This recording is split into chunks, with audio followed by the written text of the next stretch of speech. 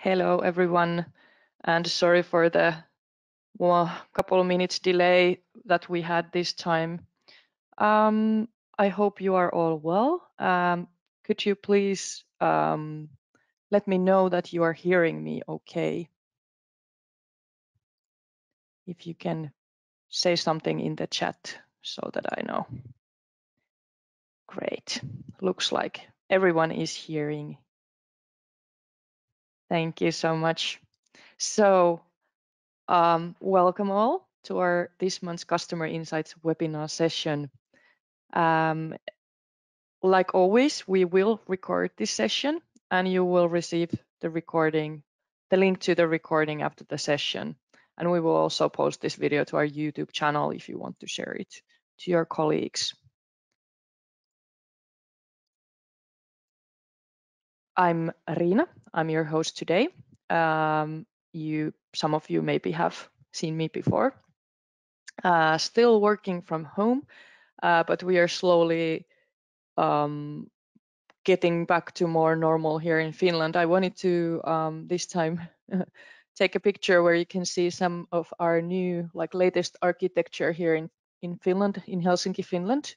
Behind me, you can see our new uh, public library, which is a really nice building. It's called Oodi. Our agenda today.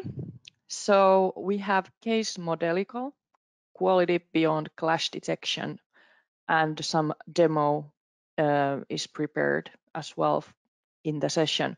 So we have uh, Sarai Zaballa from Modelical and, and Julio Garcia should be joining as well and they will be talking about quality assurance in residential projects, how they use Solibri to check property content in their BIM models, and how they use information takeoff and classification for room quantities calculations with furniture, lighting fixtures, or MEP appliances. We also have uh, reserved some time for your questions in the end. So please send any questions you have any time of during the session, you can send those in the chat. Uh, it will help us a lot if you also mention who your question is for, if it's for uh, Julio or Sarai in Modelical, or is it for more for us in Solibri. Uh, so when we start going through the questions, it, it helps a little bit for us to handle them. Um, before uh, we start the actual session, we have a poll we would like to ask you this time um, how how the IFC models are created in in your projects. So you should be able to see the poll now. I'll give you a few minutes to answer. So what is the main modeling tool you are using in your organization when, when you create the IFC models? Let's see how it goes.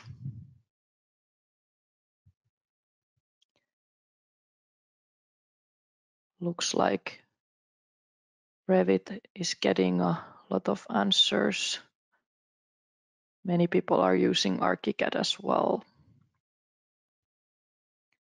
I'll wait a couple of minutes more.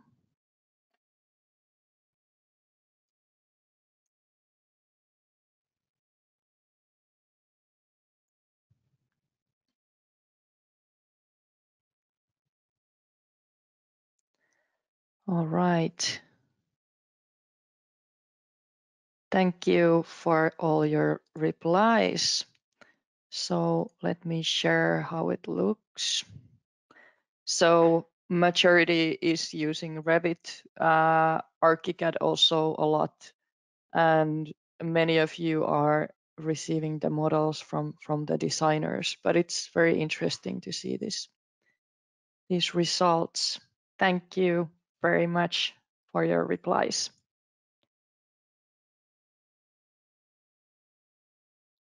All right. But now to the actual uh, agenda of today.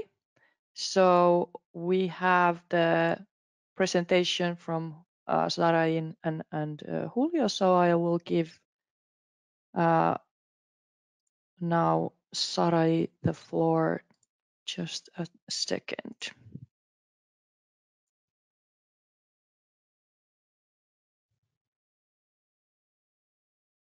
Hello. Um, Hello. And thank you, Sarai, for, for joining us today. Yeah, thank you. Uh, I don't know if you are seeing my, my screen already with a presentation or are you seeing my desktop? Desktop. Desktop. Okay. So I will change this.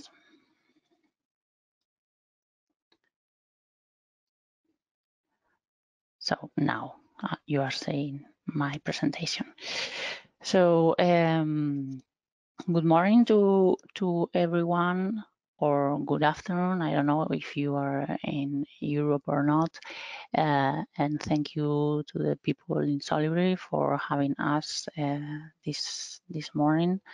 Um, as uh, Riina said, uh, the presentation is going to be um, held by by me, Sarai, and by Julio. Julio is having some troubles to join us, and I hope he can join because uh, the, the the second part of the presentation, the most practical thing, uh, was going to be to be led by him. So if not, uh, we are just going to to have um, a brief uh, theoretical thing. So, but first, um, a brief presentation about us, about Modelical. Uh, and then we are going to, to talk about Revit exportation, as we saw just now with the with the poll that, that uh, Riina sent you. Revit is the most popular tool to work with BIM, but um, of course we have uh, we have in mind that uh, there are other authoring tools that you're using, and because of that, the, the sample is going to be performed or explained based in in Revit options, but but this is something that you should um, uh, expand or yes, uh, apply to, to other, other tools.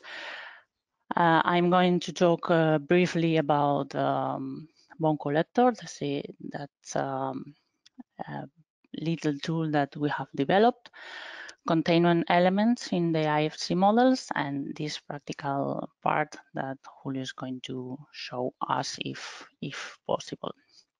So we are a small company. Uh, we are mm, like 30 people based in Madrid in or in Barcelona. We have two offices, but the main office is in Madrid. We are uh, all, uh, in any case, we are all based in Spain. And uh, the team is, is formed by architects, engineers, and software developers.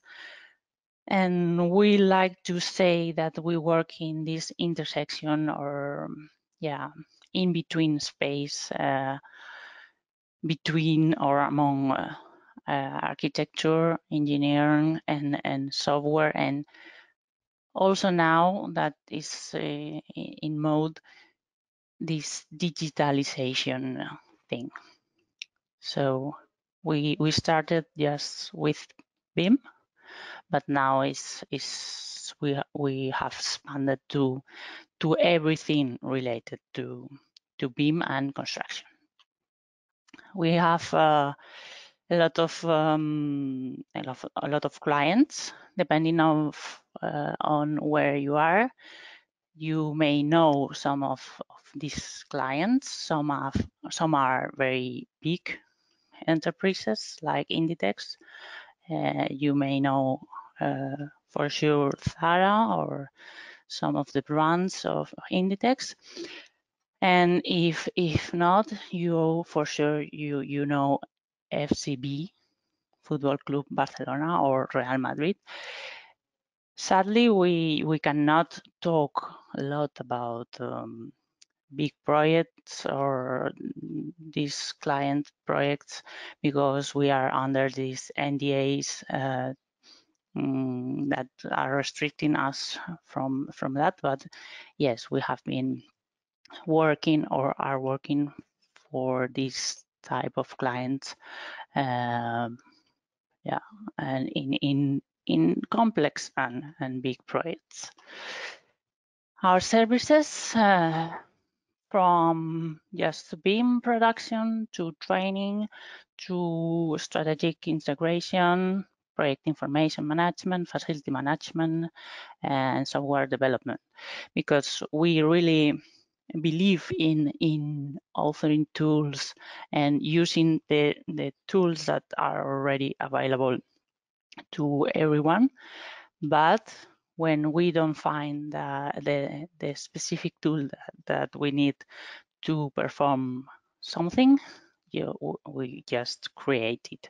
that's why we have some uh, software engineers uh, in the team because they they help us to develop anything we we need in our relation with any other BIM BIM tool.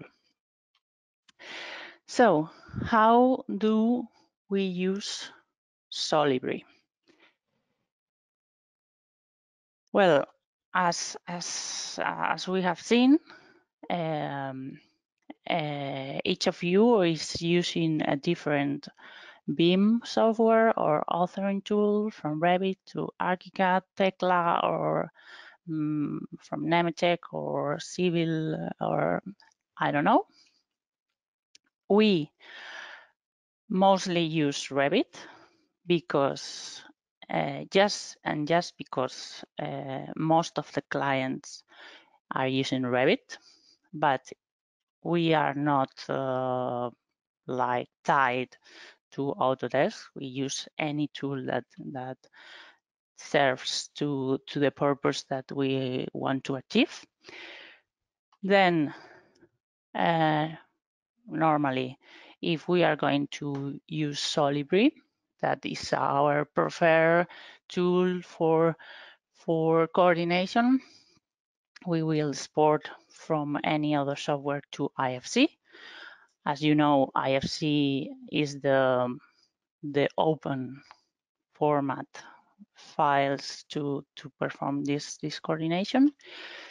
Then we integrate all these IFCs in Solibri, in Solibri for checking and we'll share. Normally we, we, we use uh, BIMcollab, but there are any other, a lot of other web uh, platforms or plugins that uh, could serve you to do this uh, sharing part of, of the of the of the process.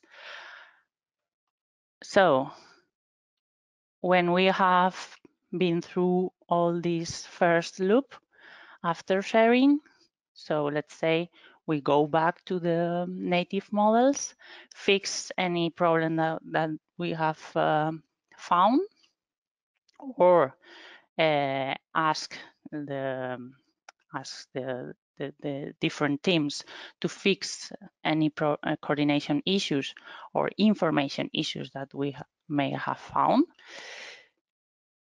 Um, with this web platform like the hub for for control or the control of the these processes and we go with the loop again.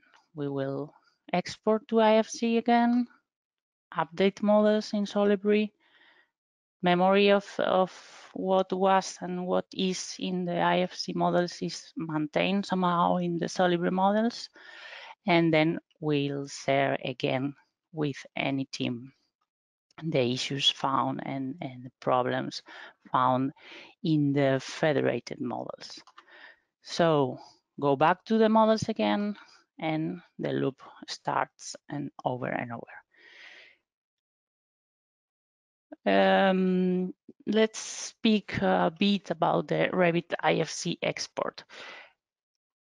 Uh, since Solibri is just using uh, IFC models, it's very important to have it clear how do we export from IFC, or oh yeah, from Revit, or from ArchiCAD, or from Tekla. So I tried. I'll try to explain this uh, these particularities of the IFC export not just centering in how we export uh, from Revit, but of course is the, the tool that we we control the most. But but all of you you should have in mind the that that's the the important thing. So if you are using Solibri and Solibri is, is using IFC models, IFC files are very uh, powerful but it, only if they are configured or set or exported uh, correctly for the for the goals that you you want to to achieve. So you you should have uh, very clear the IFC schema scheme that you should use and the model um, the MVD yeah um, with elements and properties that you are going to export. Normally, for coordination, there is a MD and a specific MVD for coordination. So that's the, the one that we should use. Uh, that way, we will have an export from IFC more with more or less information. So very, very important is how do we set and, or configure the mapping file?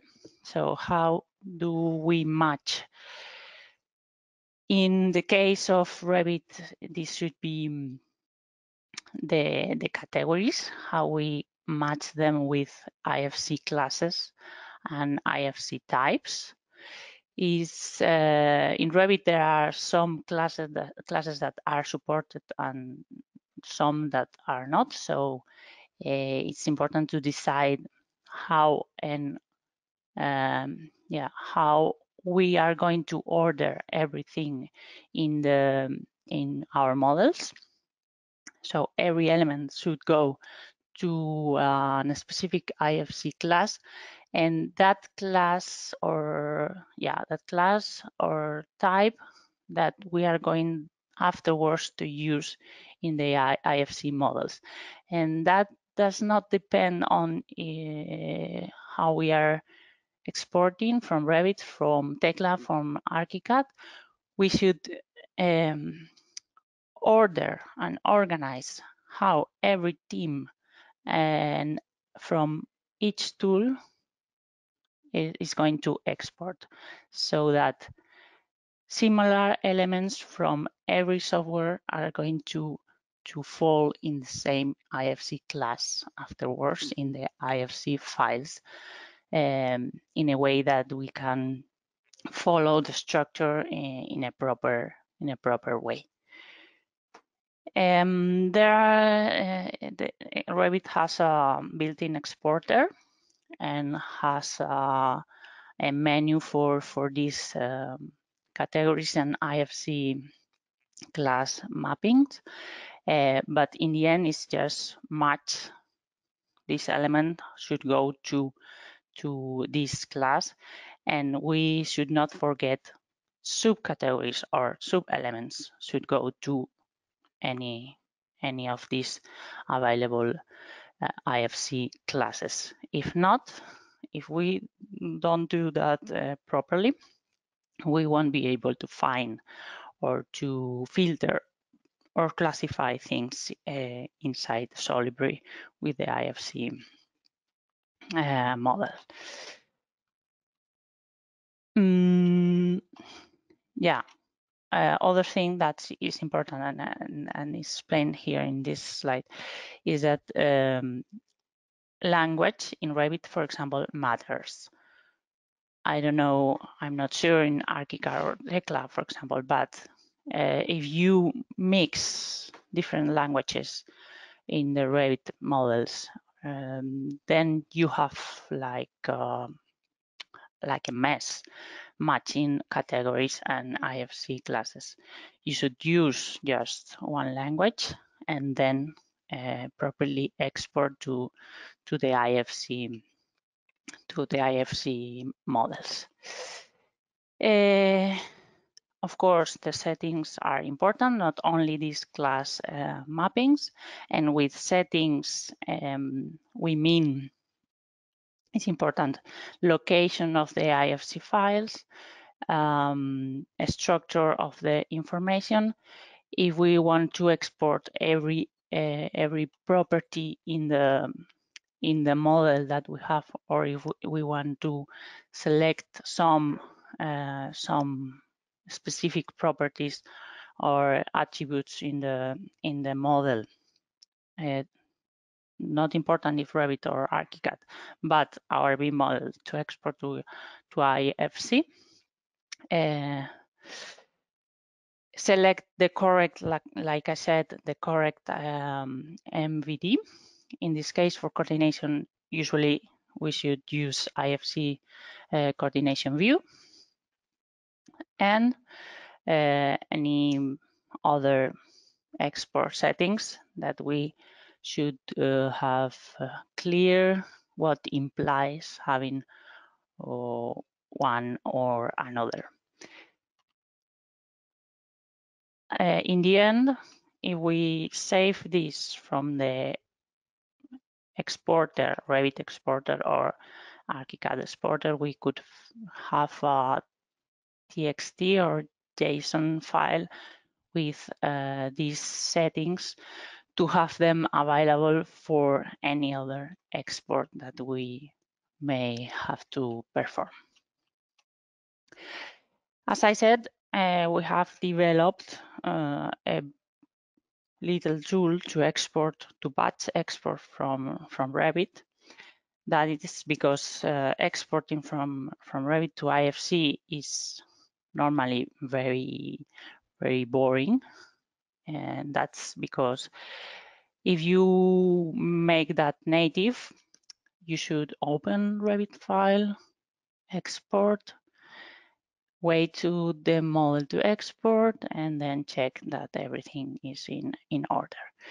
But we, as we are working in, in, in big projects, we didn't have the didn't have the time to wait to open every um, let's say every of 80 models, big models to export and check and that everything is in place. So we have developed uh, this bone collector tool and it's just a, a, a, menu to to export to batch export several uh, models without opening it and just setting which uh, export options and export settings we want to, to use. Just a funny thing, uh, this is called Bone Collector, but because we have developed some other tools and we have um, a Denzel Washington fan in the office, and that, that that's why we are naming uh, most of our tools after after Denzel Washington movies. Yeah, and with uh, this Revit uh, tool, this Revit add-in, uh, we have the export configuration, the settings, and then we can just select uh, a bunch of, of, of models to export uh, unattended, unattended. So we'll leave the, the, the PC working and in the next morning you have all your your IFC uh, exported. Another thing that we normally use uh, is a remote um, remote and powerful PC to to do this, so we can keep on working with with our PCs in in other in other things. As I said, it's just which files, which export settings, uh, and then just wait to the to the files to be to be exported. Yeah, the the display is very very simple, and as I said, we can program the, the exportation and just leave the the PC or the computer uh, working while we are I don't know, having a beer in a in a terrace. So, um, what's uh, very powerful in in IFC uh, models exported from Revit or exported from any other tool are containment elements. Containment elements can be um, many things inside IFC models. Uh, and containment elements um, are called so because we can have um, relations and explore relations between elements inside IFC models. Um, uh, like uh, what is contained uh, within what. And this is very powerful because uh, it gives you a lot of control over the information inside your models. Containment elements could be in a building, just the document itself, the project information, it could be levels, and we have all clear what levels are in in in IFC models. Normally they come from the levels called like just like that from native models or could be spaces uh, in any any format that they are called rooms areas or mep zones spaces so because spaces um, uh, wherever they are named are like these really physical containers of elements and you can check inside Solibri uh, if elements are inside these, these spaces or rooms. And containment uh, elements are also, in case of Revit models, these uh, abstract uh, things that are called the systems, the, the MEP systems, um, based on circuits and piping systems and ducting systems. And this is also very powerful because you can check and control uh, which system one element can uh, is is belonging to. So that's why we call the the presentation and, and the um, Hello, Sarai. Hello Julio. Can you hear me? yeah, I hear you. What a surprise. Yeah, thank you.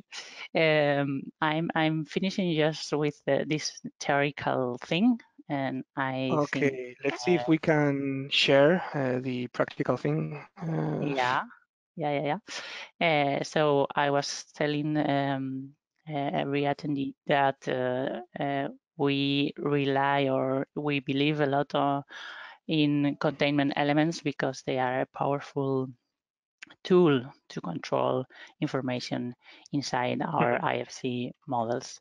So we have uh, checked that containment elements can be the building, floors, spaces, and systems.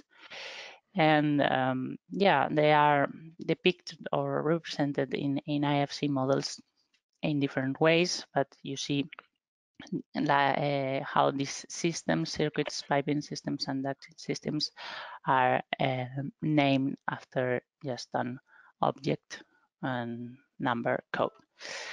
And yes, that's our brief presentation of the of our processes working with with Solibri. Of course, um, there are a lot of, other things, but Julio is now going to show you in a live uh, way uh, how do we use this. Sadly, as I said before, um, we cannot show you complex and and yeah mm, super super big project models and we are going to do this this uh, little uh, sample with um, a sample file Uh, it's a pity. Maybe this is not so colorful like uh, any other samples in other webinars, but uh, we thought that the important thing is this focus on the on the on the power of of controlling and, and doing things with the IFC models containing the proper information. So, Yes. Julio, everything yours. Well, I can continue maybe, shall I? Uh, can you Yeah. see my screen properly? Yep. Okay. Yes. So this is the model that we are going to uh, export with our uh, well, with our add-in. Uh, I've created two views, uh, the IFC view and the IFC view uh, no walls. And well, uh, our uh, add-in is right here in Modelical Revit Tools. And we have these two buttons, the export button and the settings button. And uh, I'm going to configure to show you how we configure all these things.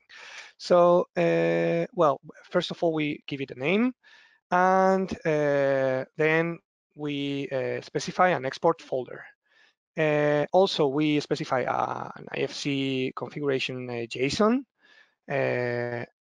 and uh, we can set here that the, view filter can be by name or by parameter uh, of the view. And if it's by name, uh, we can set it if the view contains IFC, it is going to be exported.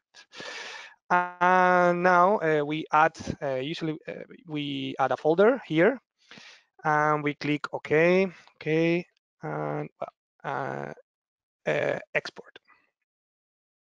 Okay, I have to close all the models uh, and go to our add-in settings and export. Now it is exporting. So let's see, let's check it out uh, in our desktop, Solibri webinar. And here we have uh, our IFC model. It creates a folder with the now uh, and all the views. Uh, you can check that, uh, well, that all the views in the models, uh, they are export exported. So let's see how they look in Solibri. So let's open Solibri. Also, uh, Sarai, uh, well, uh, has told you that we use the uh, task uh, scheduler in order to make this thing uh, automatically. So this is Solibri Office. It's opening right now. And usually, well, we export all the models maybe, well, sometimes on Saturday or something. And I'm going to open these models. No, uh, it's the Solibri webinar.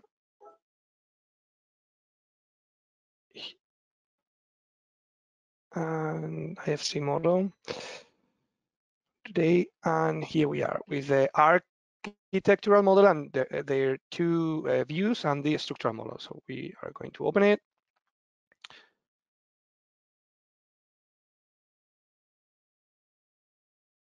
Okay, here we have our model. So these two from here, these are the architectural ones, and this is the, the structural one. So I need to set the, the, discipline and call it structural, and this is the architectural. Uh, okay. And now if we set uh, to selection basket, we can see that all the spaces also uh, have been exported. If we click uh, Alt S, we can hide and show the spaces. Usually I put it in orthographic mode and uh, click out these things, the footprints and the grids and all these things. And uh, the no walls, you can see that we also have the, the spaces, but uh, with no walls, like in the view.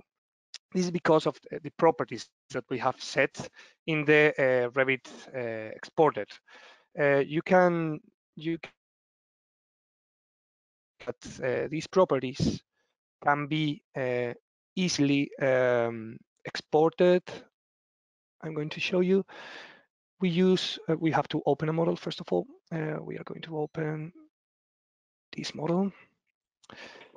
And uh, you can see that all the properties, uh, the IFC exportation configuration, you can easily export it. And this is the JSON file that we link to our add-in options. No, sorry. Yes.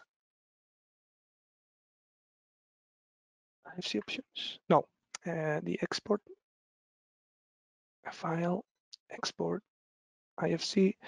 Here we have uh, all the modify setup and you can see that, uh, well, we can save uh, the selected setup and we can, well, make all these kind of things, export rooms in 3D views. Remember that uh, if uh, we click this one, export only elements visible in view, uh, we we are not exporting uh, things like systems or rooms. So uh, well, be be careful about that. And well, once we have everything set up, we can export this this JSON, and this is the JSON that we use uh, for uh, setting up the IFC options uh, from the method of export IFC exposed in the Revit API. Okay, so well, so now we have, I'm going to remove this one. Now we have this model here and remove from model, okay. And I'm going to set everything to the selection basket and I'm going to uh, show you, uh, well, some rules that we usually uh, use.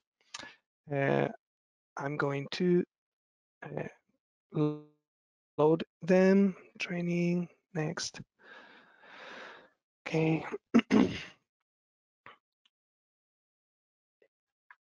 In the Solibri webinar settings, check demo. Okay. And check model. So, well, we have uh, the classic uh, hard uh, and soft clashes. In this case, uh, well, this example, we have this door with no opening that is uh, clashing with the wall. And in the soft door clashes, we have this furniture, which is like pretty uh, much um, in front of the uh, door. But there are other things like, uh, well, uh, columns that uh, don't touch both. We can consider this like a, mm, well, another kind of soft clash, soft clash. So, but uh, we can also check the inconsistent document name format. Sarai uh, has told you uh, that the building elements in the IFC in the IFC model is has all the properties from the project information. So we can check all the properties from the model here and also the document name.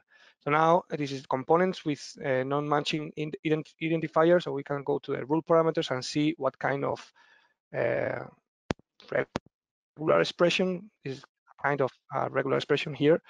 And uh, we can see that uh, we can put here another uh, fixed token at this IFC view here.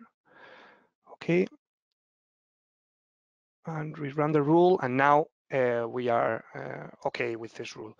So because of the name of the models here, if we go to the building element and we check the building, uh, this, I have to view the properties. Let me open it. Oh, sorry. checking part? Well, I've uh, put this rule, uh, I've set up this uh, in order to uh, match with the building uh, with, the document name. So uh, we can also check the space validation rule, which is quite powerful in order to check that every single space has its own uh, special element and the inconsistent room parameters and the room content requirements. These rules have to be set up with uh, classification. You can see classification not loaded. So if we go to the information takeoff uh, space and add uh, new classifications, I'm going to add survey webinar and settings. I'm going to add these ones here. Open it now, if we check the model, we can see that inconsistent room parameters, what we are doing here is that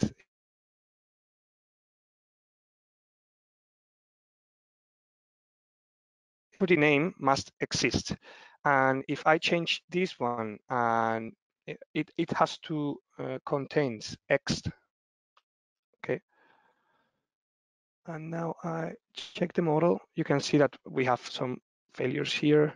And uh, these the terraces of the model uh, and the uh, well, these down uh, here, these spaces here, uh, doesn't contain that particular um, expression. So and also the room content requirements. We can check that spaces has several elements. In this case, uh, in the parameters, we can see that, uh, well, we, we have set up this with minimum one element and maximum uh, 30. And we can see that the, in, the, in the first uh, in the first result, this uh, furniture, it's, it has no furniture components. And in this one, we have too much, too many furniture components. If we change, change this parameter and uh, put 0 to 50. Close it and check the model. We can see that in this exterior, we have, we've got, well, we have to rerun the test. Too many furniture components, uh, but this is because uh, maybe they are not uh, classified properly. But these, these are the kind of rules that we use uh, in order to check uh, some uh, con I don't know if you have we have 15 minutes left if you have any questions here you can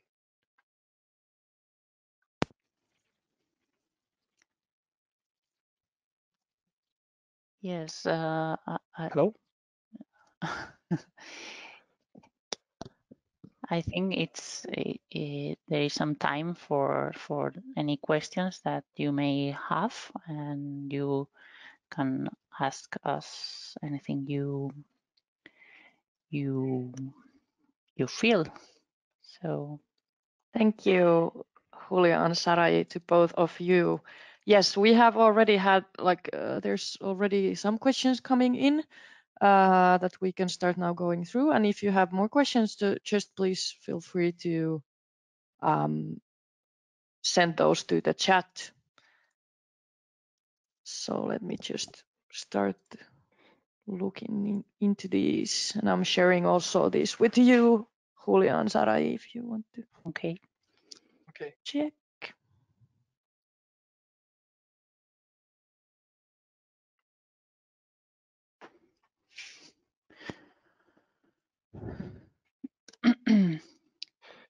While we wait to the to the questions, just to some some remarks that we are not talking here in Solibri about um, just um, clash clash detection. So we can perform that uh, with a bunch of rules of, of hard clashes and soft clashes. But, but the thing is that in Solibri we can go a bit forward and check actually the information in the models and check relations uh, between elements in the models. So maybe with other tools we cannot do that, but since Solibri uh, allows these containment relations, we can we can think of a, a lot of things to to to check beyond uh, physical physical issues and physical coordination. So, and that's uh, important to to control and to to have um, to have BIM models that are actually uh, useful. And when this is about big projects and a lot of, of information, this is really, really important. There have been many questions related to this bone collector you, you have. Um, first of all, is it Uh-huh. something that you can share to others uh, for downloading or how does it, or is it only yours in your organization? Normally, uh, we we use that internally. We have shared uh, this tool and all, some others normally with clients in the in the context with with um, the projects that we develop with with them. At some point, we have thought of uh, having them available for the public, uh, open to the public under some pricing policy or something like that, or free, we don't know. But if you are really, really interested, you can write us and see what we can do about that. Yeah, but, but I've tried to explain uh, to you uh, what are the keys to develop it. It's uh, well uh, the export in the API, which is exposed, and well, it's uh, I don't know. You can try it with a macro or something, but Yeah. well, uh, as I has told, uh, you can uh, call us and well ask ask for it. Bone collector. Uh, okay, yeah. Everything about the bone collector is just at, at, at, at this time is is a tool for us, but of course we we could we could think about sharing that or with a, a lot of any other tools we we should think what to do with with them to share them. Uh, question for Sarai. You mentioned you have worked on developed tools for several evaluation models. Um, do you have any tool to address environmental concerns such as CO2 emissions? Uh, not, not yet. We have not come to the to that point. We have uh, certainly we have developed uh, tools um, tools to control models and to, to control projects. We have compiled, we are compiling them into just one web or platform tool containing all these tools to have a to have a dashboard and and um, display of these controlling rules about the models and projects and not controlling only these technical and quality things about models but also about projects uh, in a similar way uh, to how we do that in, in Solibri and based on that.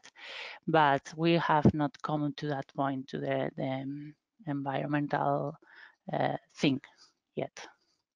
We have we are Okay, uh, I'm going to answer. experts. Yeah. Okay, uh, Mike Sitter, uh, why create individual model view instead of an aggregate uh, view of all objects and filter using Solibri functions? Well, we have encountered uh, some problems sometimes uh, with uh, huge models, with uh, big models, and also with, for example, for instance, the, the insulations in MEP. Well, it is critical for us to create a view without these insulations. And uh, in order to get a proper uh, exportation. Sometimes the um, the detail level uh, or uh, the um, the content of the model uh, makes a good exportation or a bad IFC exportation, or maybe uh, you cannot make an exportation because it crashed. So it's critical for us to um, to configure all these things in Revit first, and then in Revit views first, and then export them. This is this is why I think uh, we create individual views and export them. And well, uh, how did More he switch to a 2D uh, elevation view? Uh, we, you can in in Solibri you can uh, click Control two or Control and a number, and you go rapidly to a pure view. Is it possible to see the document name rule? Yeah, you can you can check it. It's the the document name rule. Uh, I'm going to tell you. You have it in the rule set manager, and the document uh, is the uh, here it is uh, Solibri 21 2.3 you have it in the in the Solibri common rules Solibri 21 2.3 with that rule you can uh, configure it and check the document name rule from the Revit model. And also the other uh, other parameters with a regular expression uh, check you can you can check it uh, with that rule. Sarai, if you want to answer. Yeah, I have a question about Navisworks. I I don't know if this is the correct Mhm. forum for Navisworks, but yes, we we do use Navisworks sometimes. As I said uh, in the beginning, we are not married or, or committed to to one tool, but I- we think Navisworks is good for some things, but is limited for uh, many other things. Of course, if if I think of of mm, making a 4D model, I think first of using Navisworks and not Solibri, but because Solibri is, is more powerful for for other things like um, like Julio likes to say second round coordination uh, about coordination of information. And there is a, another question for me. Checking on object relation, they need to be modeled to be able to do so. Uh, do we create our own uh, object families? We usually do that. We create our own families. We have our own uh, lib libraries, but not always you have to have in mind that we work for for a lot of different clients and and we have to adapt to their standards. So it's more about um, knowing how families and how information is contained in that families to create the correct um, relations between elements in in in models We have still time, I think, Yes. for maybe one or two questions. So, and we will answer if, if there's something that uh, you didn't get answer for in this session, we will go all the questions through and uh, send a link where you can find the answers. So Yeah. don't worry about that. But yeah, if, if there's one more you want to answer now, then we have time for that still. I don't think I Okay. have any other. Julio, maybe you have. I have a lot. Sarai. So answer so, well, maybe, maybe we can. uh, yeah, I'm going to answer one of these. Um, let's see. Uh, this one. How to convert uh, Revit to IFC correct coordinates? Some some Revit uh, using shared coordinates.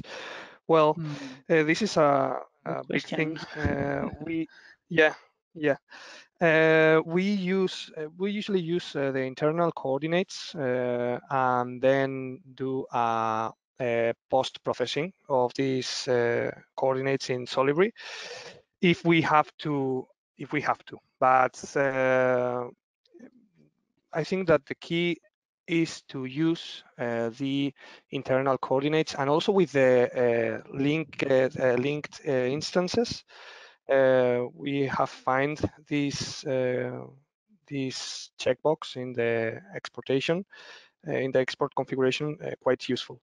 Do you also use Revit Dynamo for the parameters in Revit models? or do you make a specific add-ins for that? Well, we, we use it depends on the amount of parameters or something. We have Mm, other tools that we consider uh, them like uh, other services that we have, uh, not tools. That's why we um, don't uh, sell them. But well, some partners use Dynamo, others use other tools. We have several ways to do that. And okay, I want to comment something, uh, Sarai. Uh, yeah. The, in an open BIM environment, Solibri is a must, I think. What do you think, Sarai, about this? yeah. If the client, if the client uh, ask for open BIM, and if uh, IFC is uh, in the game, uh, we go usually go uh, through Solibri. I don't know. If yeah, yeah, yeah. agree with this. Great yeah. to hear. Hey, thank so. you yeah. Thank Uh, you to both okay. of you so much. Um, I think we're uh, uh, starting to uh, run out of time, so we will, like I said, we will go through all the questions you had once more after this session and check if there was something that we didn't answer yet. Then we will we will get back to you uh, later today. So don't worry about that. Okay. Okay, Uh, perfect. Thank you very much, uh, Thank Julio you. Sarai, for the great presentation. A Thank you. couple of uh, um, things I wanted to still mention before we end the webinar. So we have a little summer treat for you. Usually we've had uh, these webinars once a month, but now we will have still two more sessions in this month. Uh, so we will have case uh, Technical Engineering. Sorry, I don't know how to pronounce that. In in in after a couple of weeks, and then also uh, case BIM-O Open Innovation uh, in the end of this month. Uh, so a little bit like a summer treat for you before we have our summer vacation break, as we will not have have sessions in in July or August. Uh, we will send you links how to register to these webinars after after uh, this session later today to your emails. In addition to those customer insights webinars, we will also have one more session uh, in our Solibri Assist webinar series. Uh, maybe some of you have have attended this. Our expert Ken Good uh, is helping in different areas on, on how to uh, work with Solibri. And this time we will have a session on Autorun. Uh, so Autorun uh, was um, uh, opened to all Solibri Office users in our uh, latest release. So Ken will now share you how to get started with that, how to automate the model federation and run checks and so on with this, this great tool we have. And you will get a link to register to this webinar as well after after the, this session today. So that was it. Thank you so much once more uh, to all of you. Uh, feel free to contact us if you have any more questions or, or, or other concerns. And, and otherwise, I will um, wish you all a great uh, day and hope you're all staying safe. Thank you.